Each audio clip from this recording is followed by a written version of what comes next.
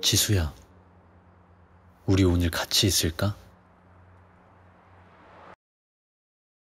라고 말하고 싶었어. 그래서 용기를 냈는데 지수야, 오늘 영화 재밌었다, 그치? 크록실 잔오고 뭐가 재밌었어? 쉽게 말이 나오지 않더라. 그래도 아까 깨어있을 땐 재밌었어. 야, 너 공부 좀 작작해. 요즘 너무 힘들어 보여. 맞아. 요즘 힘들었어. 공부 때문은 아니고 참기가 힘들었어. 우리 지금 집에 가는 건가? 그럼 여기서 뭐 하는 건데? 왜? 아직 헤어지기 싫어? 그래서 다시 한번 용기를 냈고 지수야, 우리 어, 오늘 같이 있어.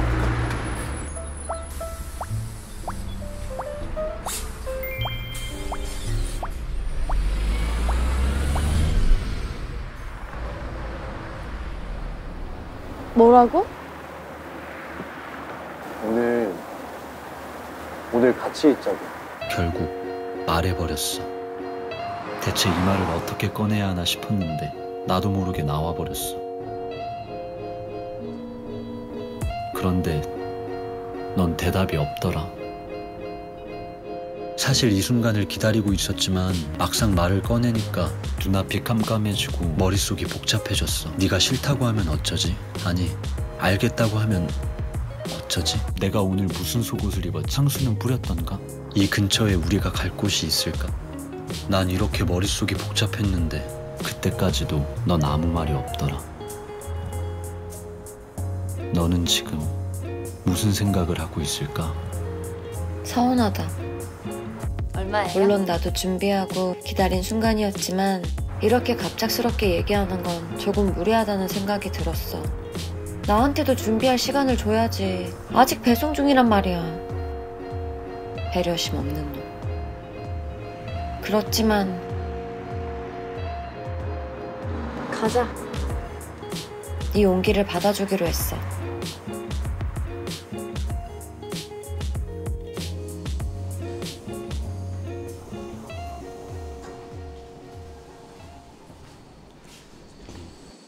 혹시 대실 되나요? 아, 이 시간에 숙박밖에 안 돼요. 아 그래요? 네. 숙박은 얼마예요? 어, 큰방 7만 원 있어요. 큰 방? 작은 방은 없나요? 아 없어요.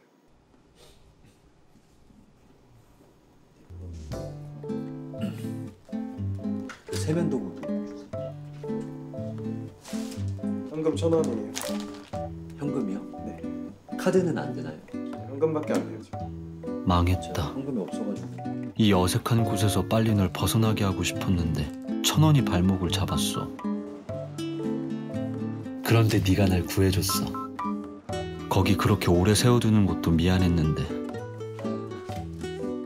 그런데 말야, 이건 정말 못된 생각인데 너무도 익숙하게 천 원을 건네주던 네 모습이 순간 낯설었어. 이게 천 원이라는 걸 현금 결제라는 걸 이미 익숙하게 알고 있는 네 모습이 조금 낯설었어. 그건 나도 마찬가지야. 마치 이곳이 처음이 아닌 사람처럼 903호가 어딘지 너무도 잘 아는 사람처럼 그렇게 앞장서는 네 모습이 조금은 낯설었어.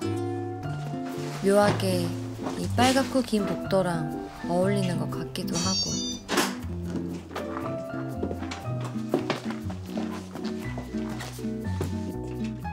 이것 봐. 마치 자기 방에 온 것처럼 익숙하잖아. 처음은 아니지만 익숙할 필요는 없는 건데. 그래도 막상 들어오니까 어색하더라. 아, 조금 더운가? 그치 이제 에어컨 좀 킬까? 아니, 하, 나 추워. 뭐 맥주 같은 거라도 좀 사올 걸 그랬나 보다. 그러게 술도 안 마시고 이런데 그러면 어 내가 뭐 마실 거 좀 사올까? 그럴래? 어. 아 나는 좀 씻을게 오늘 땀을 좀 많이 흘려가지고 아까는 춥다더니. 에이, 뭐 춥다가 뭐 덥다가 난리도 아니네 그냥. 아 몰라 나 씻는다 실은 나도 그래. 땀이 나는데 떨리기도 하고. 이 모든 일들이 각자의 경험 속에 자리한 일들이긴 하지만 그래서 언뜻 언뜻 보이는 익숙한 행동들이 서로를 낯설게 하기도 하지만 지금 여기에 같이 있는 건 우리니까. 오늘은 우리의 처음이니까. 그래서 땀도 나고 떨리기도 했어. 재훈아 어. 저기 일회용품 안에 머리끈 좀 어? 머리끈 어. 그렇지만 말이야. 넌 이 안에 머리끈이 있다는 걸 어떻게 그렇게도 잘 알고 있냐? 난 여기 머리끈이 들어있다는 걸 오늘 처음 알았는데.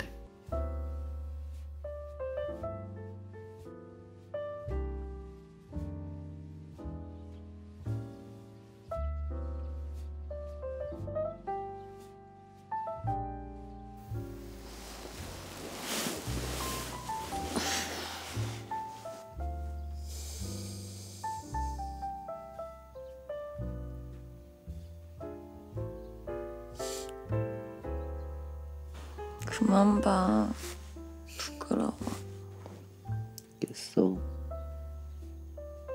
어제 기억 안 나지? 너무 많이 마셨다. 다 기억나 어떻게 기억하지 못할 수가 있겠어 나도 그래. 모든 것 하나하나 다 기억하고 있어.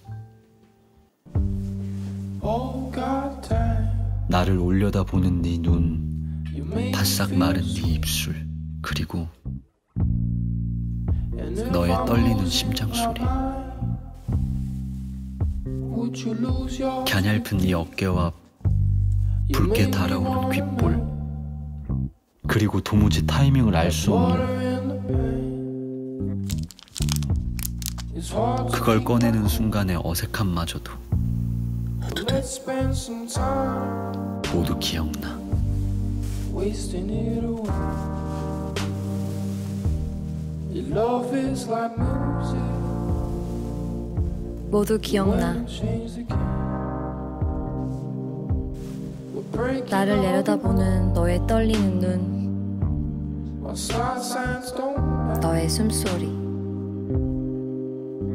내가 푹 안겨도 남아도는 너의 가슴 네 어깨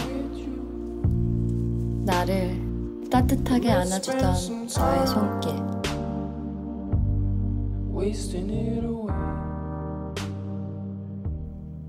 너. 왜 이렇게 잘 풀어? 그리고 감출 수 없는 그 능숙함과 나 피아노 배웠잖아. 그걸 감추려는 너의 그 뻔뻔하고 귀여운 변명까지도 모두 기억나 우린 이렇게. 또 한 번의 선을 넘었어